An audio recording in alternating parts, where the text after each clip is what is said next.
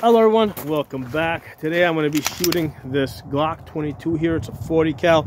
Uh, the gun is all factory OEM except for the slide. The slide is a uh, is, is from Hooper. Uh, the reason why I put this slide on there is because I wanted to, to get an optic on this gun. So today I'm going to be shooting it because I'm normally right-handed. I'm going to be shooting one hand in my left hand.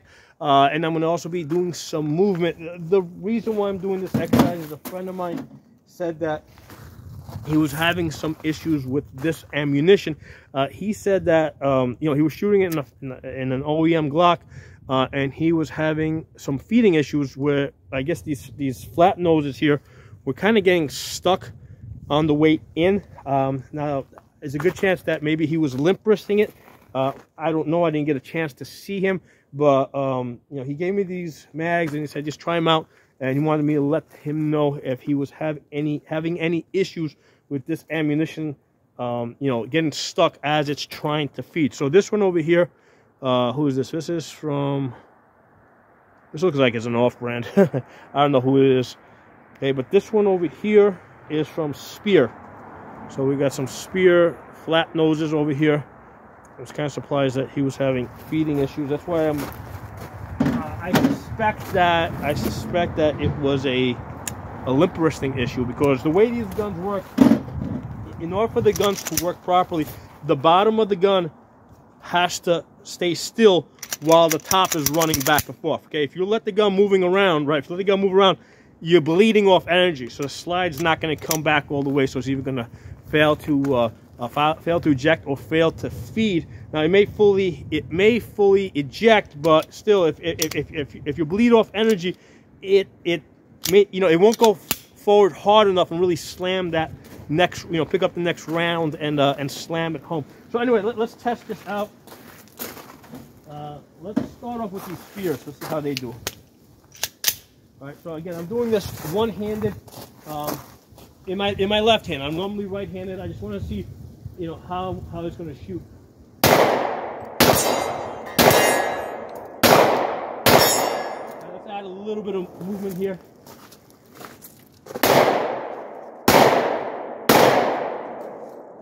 Uh, no, no issues with the gun so far. The Speers fed fine. Let's try this other off bed. Now, one thing I'm going to say is these factory, these OEM frames they beat the shit out of your finger right here, man. Because I'm holding it like this. Uh, a lot of people have told me that they get calluses in this area over here when they shoot lots of Glocks. Uh, I like shooting the Polymer 80s because all the Polymer 80s, including the G43, they got this deep cut over here that really, that you know, th th this makes shooting a lot more comfortable. I don't shoot factory OEM Glocks that often, and I can already feel that this is beating the crap out of my knuckle, you know, my my you know, my finger right underneath here. So anyway, let's try this one out, see how this works.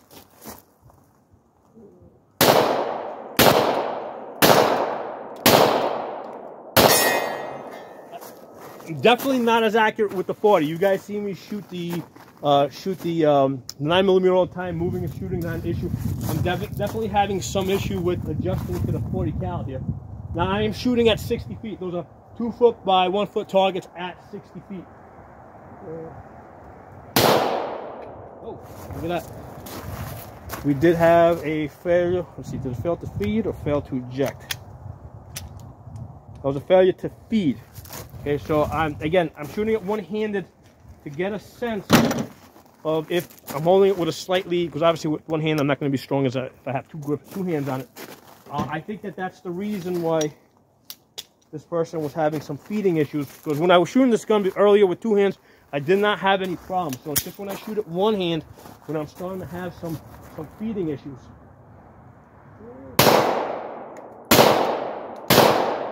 Oh, another one here.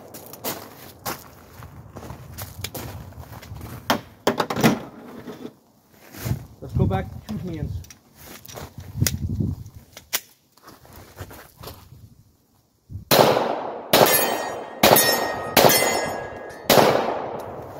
lockout. But now I'm back to my right hand, two hands over here.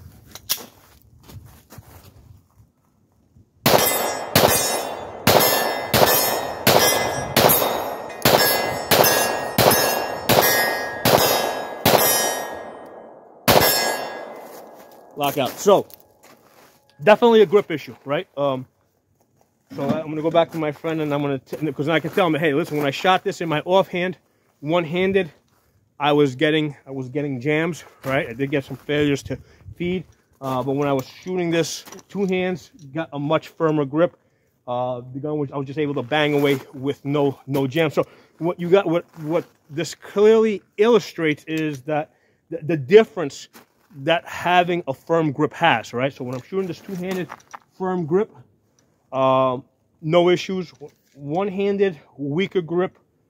You know, I started having some, you know, some feeding issues, right? And the, and, the, and the reason is because the gun was moving around a lot more.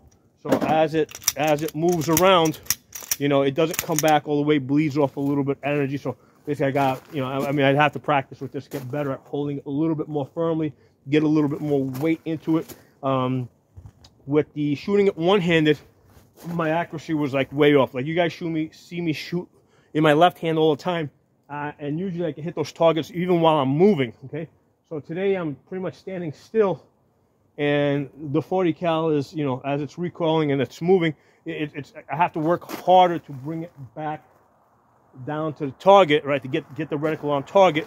Uh, so it's it's giving me two issues, right? When I'm shooting this one-handed, the 40 cal, uh, the gun's recoiling more, so I have to bring it back down to the target.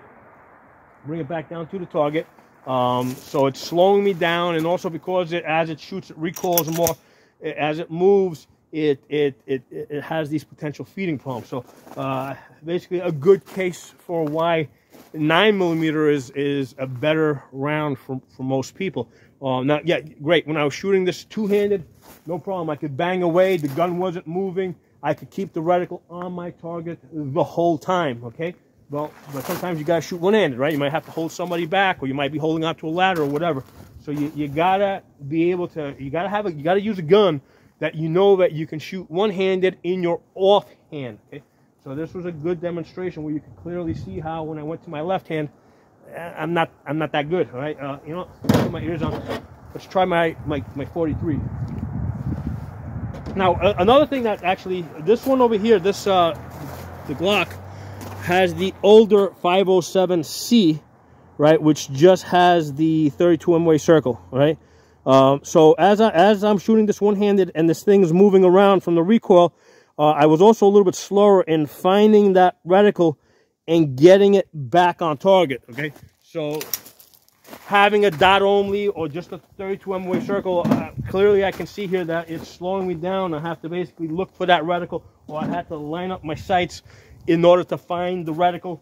Um, so, so again, not having shot that in the wild, not having shot a 20, a, a Glock 22 and 40 cal, and not having shot this, uh, um, you know, a dot only or, or 32 MOA circle only in the wild, you know, I can clearly see that you know, I'm not as good as I as I normally am with the nine millimeter, uh, and also with this ACSS, right? Where I have that big 30, uh, that's a uh, 200 MOA circle on the outsides, so I can more easily, you know, when I'm offline, I can follow that big circle to the center and find that dot. Uh, let's try shooting this one-handed. Come off the side a little bit here. All right, so let's go one-handed with this. Introduce a little bit of movement.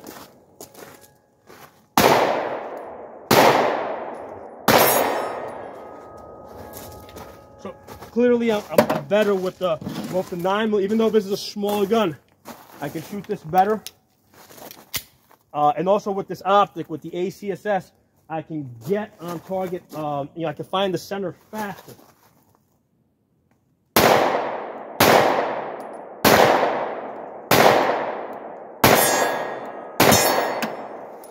That wasn't my best shooting, but still, this is still easier than that. gun. So it's good. It's good to shoot these guns side by side so you can do a comparison. You know, get out a bunch of guns, different optics, um, and, and see how you do. So anyway, hope you guys enjoyed the video. Thanks for watching. I'll talk to y'all soon.